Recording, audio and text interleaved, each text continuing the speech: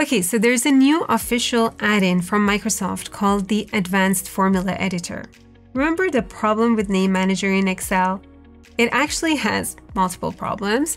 It's so small, we have one little box, we can't move around easily, we get no help for the formula arguments. Now this is already frustrating with normal formulas, but especially so when it comes to writing lambdas. So in case you're wondering what lambdas are, I have different videos on this. I'm going to link them below and in the cards as well. So let's take a first look at the advanced editor and see how we could potentially use it as a replacement for Name Manager. I've opened up a blank workbook. To grab the add-in, go to Insert, Get Add-ins. Now just type in Advanced Formula, and you should see it pop up here. It's the Advanced Formula environment click on Add, and then Continue. Once it's added, it's going to come to the Home tab right at the end, the Advanced Formula environment. Click on it, and you're going to get a new pane opened up on the side. It tells us that named formulas in the workbook are going to appear here and take a quick tour to learn how to get started. So you can take a tour, but I'm just going to go jump right in and try some examples. I get two names here and this message that I need to save the names and then try writing if blank in a cell. Okay, so let's do this together.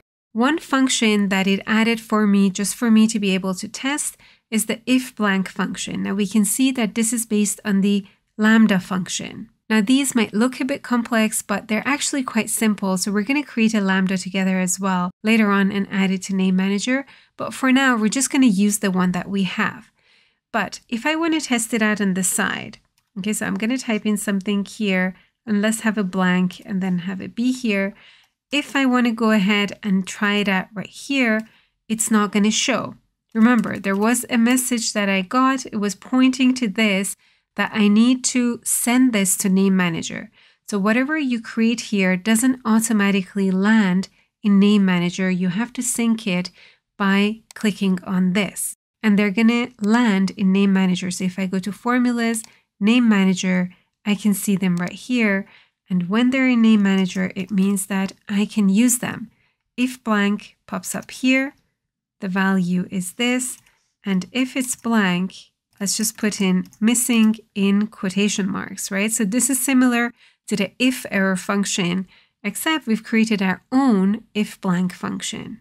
A great thing about this environment is that it's so much more flexible as compared with Name Manager. Check this out. If I go and edit this, now right here, there's the if function, right? When I open the bracket, I get help.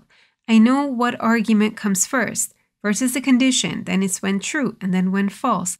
I don't get this when I'm in Name Manager. I get the ability to rename right here. I can delete or I can share. Now, currently sharing is limited to importing from text. You can basically copy this to your clipboard, open up your other Excel files, and then paste this in. Okay, so this is the manager view. This is like a card view of your names in Name Manager. Now you can view everything in the editor view as well. This is better for your longer functions or if you're working on multiple different names at the same time, because you see everything in one place. You also have the ability to just add enter here and break up your functions in an easier to read way. When you reach the end of your name, you put a semicolon and then you move on to the next name and so on. Okay, so now let's open up a workbook that already has names in it. So I've created these some time ago and I want to see what happens when I have this add-in installed.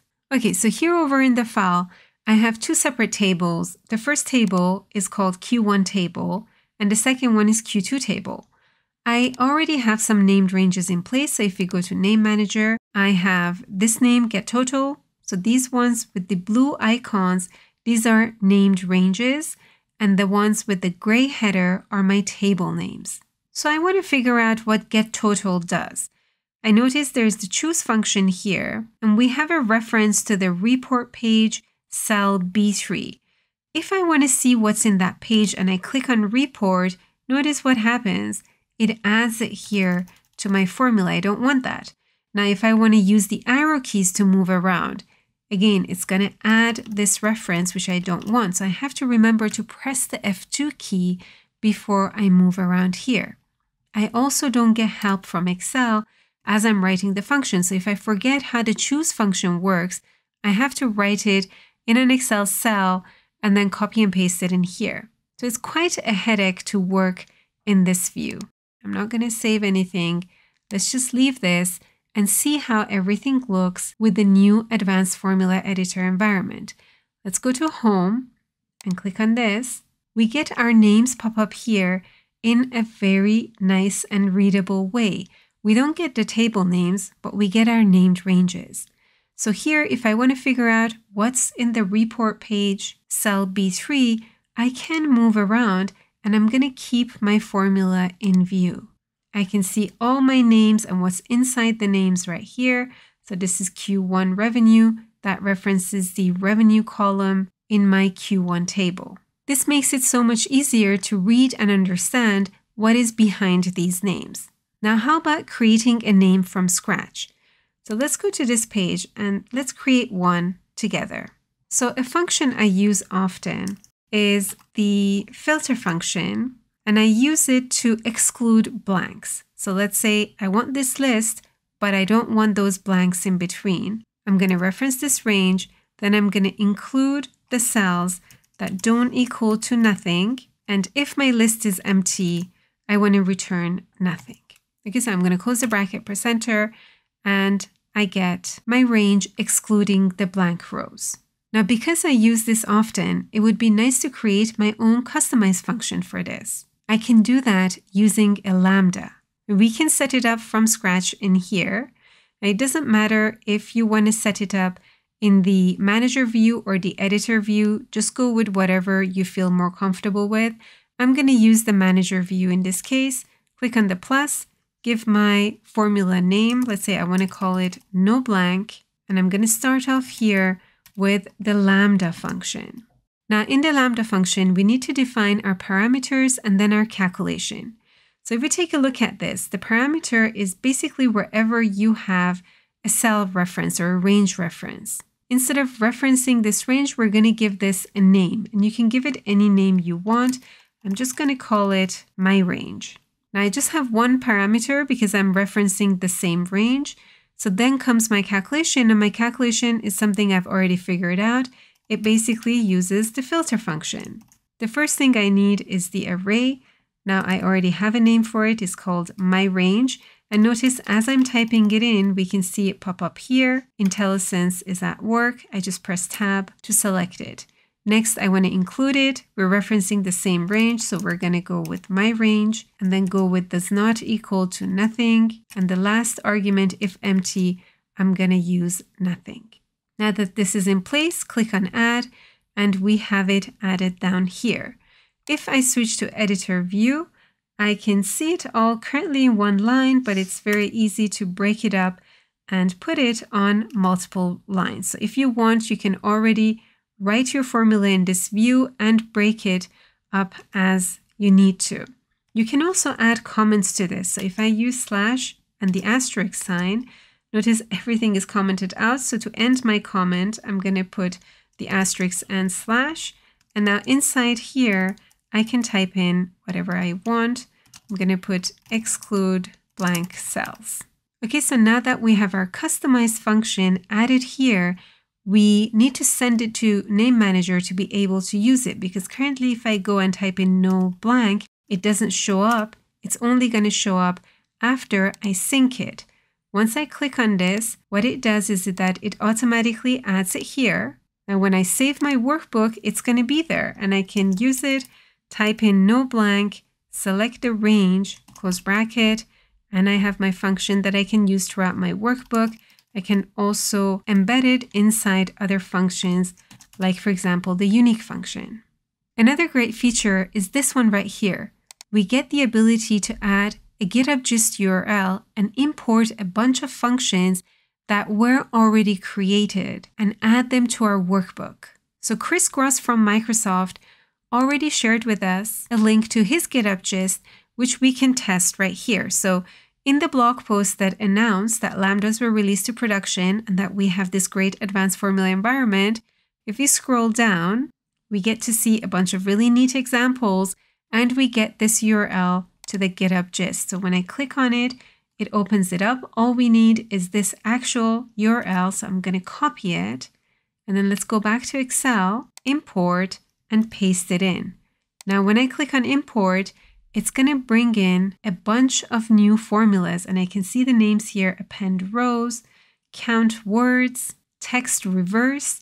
Notice this one is a recursive function. I can also see it if I switch to manager. I get different cards for these functions. And the great thing is that you can filter by names. So if you have a lot of names, you can filter by rows and I get append rows here. If I go with calls, I get append column. So all I did was add that URL, import this. Now I can use all of these names, but remember, I have to sync the names to Name Manager. So I can only use them once they pop up here. And the moment I click on this, they are going to show up in here. I have access to all of these. So let's actually try one of these. The append rows sounds promising. Let's go to the data tab and I want to append these two tables with one another. Let's see if it works with append rows. So it tells me array 1 and array 2. Array 1 is this one is basically my table name. And the second one is my second table. So I'm just going to go to the side, click, and I have my two tables. Does it work? Press enter, and I get them appended. And because these are tables, everything should be dynamic, right? This is the last row I have in my Q1 table. What if I add a new row for the health department in Australia? It's automatically being added to this. If I delete the row, delete the table row, it's automatically removed from here. I didn't have to go and write this crazy formula. I just had to import it and add it to my name manager, and now I can use this. It's actually a great way to learn lambdas. So if we go back and take a look at a special one, let's take a look at the text reverse one. Notice this is a recursive lambda. It's referencing the name. It's so much easier to write this function in this environment than if you were going to do it inside the name manager. Now let's just try this one out. I'm going to go and type in text reverse and use Australia. So we should see the text reverse there, and we do. If you wanted to update this so everything is in lowercase, you just have to go and tweak the function. So here, for example, I see that we get the substring and the first character returned. So I can put these inside the lower functions. And notice when I don't have the closing bracket, I get this error on the bottom. So when I add it in, the error goes away. And I'm going to put the lower function here as well. And now I'm going to save this. Nothing happens because I have to send this to name manager and then this is updated automatically. Okay, so you can use these, you can duplicate them, play around with them, and learn a bit more about the Lambda functions. Now, the one downside about this environment is that we can't do direct cell referencing. So if you were going to use named ranges by using cell references, it's going to be a bit difficult to do that. So I'm just going to show you if I want to say, these are my quarters, and I want to reference these cells here, I can't just highlight them because it's not going to show up here. I actually have to type stuff out. So I have to put report exclamation mark for that page and then go with A1 to A4, let's say. And I have to add the dollar sign if I want these fixed, right? And then click on add and then send these to name manager Let's just see that it works. If I have four quarters here and I say quarters, then it brings it up, right? But I actually had to type the cell referencing. I couldn't reference the cells. Okay, so that's if you use it in the traditional sense. But if you're using it to write lambdas, which is why this was created, that process is going to become so much easier and so much more enjoyable. Okay, so that's the advanced formula editor. Is this something you can see yourself using in the future? Comment below and let me know. I hope you enjoyed this video. If you did, don't forget to hit that thumbs up, subscribe if you aren't subscribed yet, and I'm going to see you in the next video.